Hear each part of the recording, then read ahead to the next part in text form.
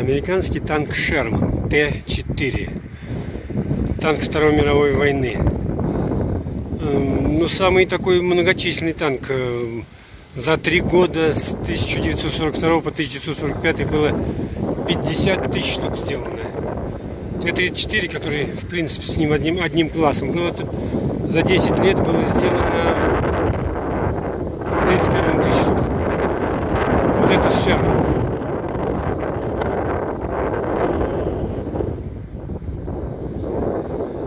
В данном случае канадских. Стал ну, в канадских вооруженных силах на вооружении. На вооружении, да. Вот такой танк когда-то сражался на полях Второй мировой войны. Вот 3 пулемет, пушка 76 миллиметровый, по-моему.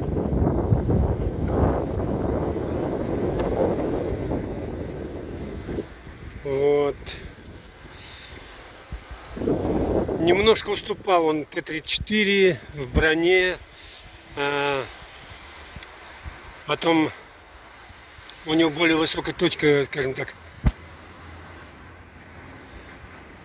тяжести, центр тяжести выше, поэтому мог переворачиваться. Но в чем-то и был лучше. Например, если э, какие-то особенности, я не помню, я знаю, только читал, что Т-34, например, те же болота мог проскакивать только по-быстрому, по прямой. А этот мог э, одной гусеницы, как притормозив, разворачиваться на месте. Вот так вот. Т-34 это не мог.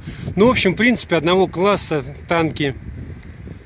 Сейчас, конечно, выглядит довольно-таки наивно по сравнению с новым вооружением, но между тем все еще смотрится такой.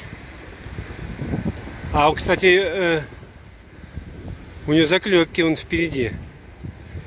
Не, не, не сварка, а заклепки здесь. Щит еще такой. Вот два пулемета. Три пулемета, три. Пушка. Треки такие. Вот сзади люк для стрельбы, я так понимаю. Вот там какой-то бардачок задний.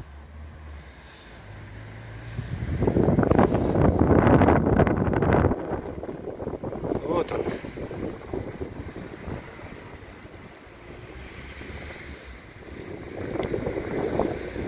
М4. Шерман. В данном случае Кларк называется почему-то. Но, видим, так название танка было. Самый массовый танк Второй мировой войны, повторяюсь. Почти 50 тысяч штук было сделано за три года. Кстати, как э, Т-34, так и Шерман, они, вот этот Т-4, они э, ну, не могли противостоять, конечно, этим самым э, противотанковым орудием артиллерии. Но они, в принципе, для этого не были предназначены. Они были предназначены для 45-ок э, противостоять, чтобы защищать пехоту. Вот это они, да, он броня. Ну, между тем, исполняли свои функции, исполняли хорошо.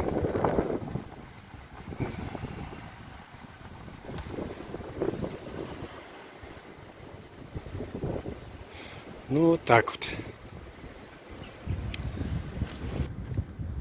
А вот САУ.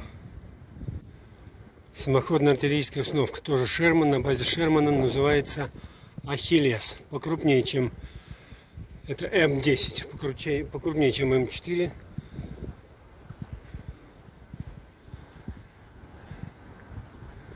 Танк М10.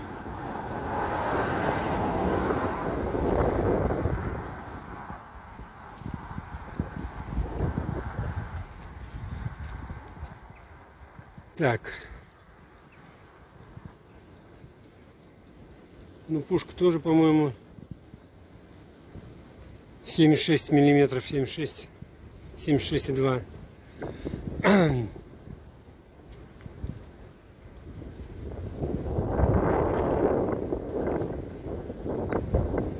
сзади такой козырек какой-то интересный.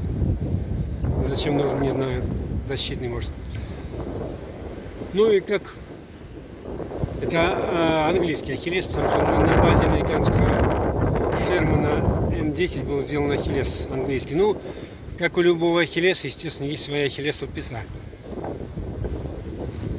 Был сделан как САУ для борьбы с танками, но зарекомендовал себя довольно-таки плохо. плохо.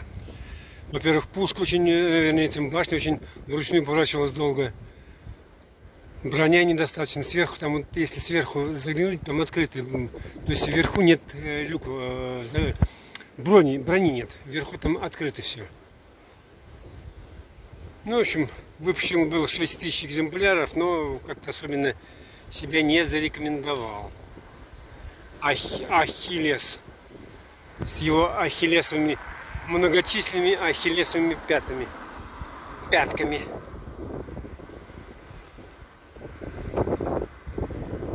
Вот такой он.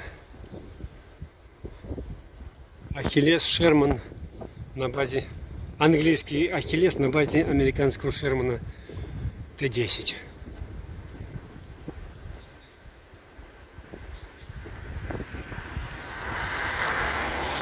Сейчас стоит в полях.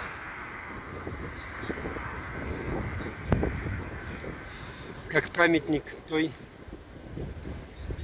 далекой войны, страшной. Ну и лучше пусть они так стояли. И старые, и современные. Как памятники, но не больше.